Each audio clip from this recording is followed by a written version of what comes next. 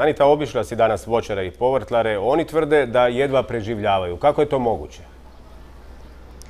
Proizvođači tvrde da su domaće hladnjače jednostavno zatrpane robom iz uvoza. Ta je roba navodno u Hrvatsku stigla još prije 1.7. dakle prije ulaska Hrvatske u Europsku uniju. Jednostavno na domaćem tržištu stvoren je jedan poremećaj, višak robe automatski znači jako nisku otkupnu cijenu. Proizvođači su ljuti na državu jer kažu dopustila je taj uvoz i na taj način ugrozila njihovu proizvodnju.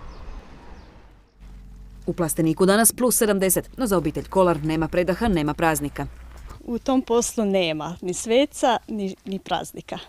Tu se svaki dan radi. Magda u plasteniku radi i do 14 sati na dan, no svoj rad ne može naplatiti.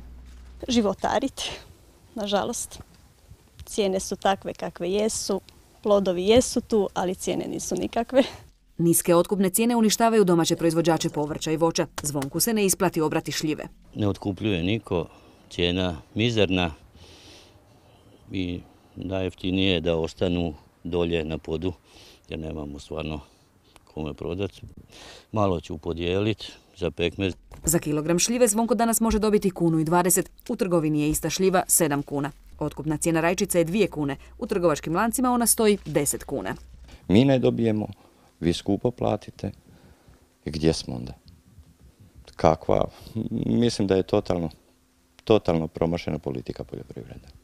Proizvođači tvrde da su domaće hladnjače nakrcane uvoznom robom. Ako ministar se ne može miješati u cijenu pšenice, u cijenu šljive, u cijenu bilo čega, u poljoprivrednih proizvoda, uglavnom onda nam ne treba jednostavno za čeg prima plaću.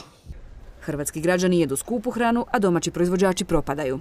Neka čovjek bude žao uopće što, što i radi to, ali, ali šta? Mi smo ovdje, odavde smo, šta radi drugo? Šta? Ne možemo mi ići biti švabe pa praviti aute. I dok Hrvatska čeka velike strane investitore, jedina proizvodnja koju ima, ona pod vedrim nebom, propada. Još jedan hrvatski apsurd. Država je dakle poticala upravo podizanje voćnjaka, podizanje plastenika. U tu proizvodnju uloženi su milijuni i milijuni državnog novca, a danas državu kao da nije briga što se događa s tim novcem, što se događa s tim proizvođačima. Na kraju ispadne da doista u Hrvatskoj se ništa ne isplati proizvoditi. Toliko o hrvatskoj proizvodnji povrća i voća.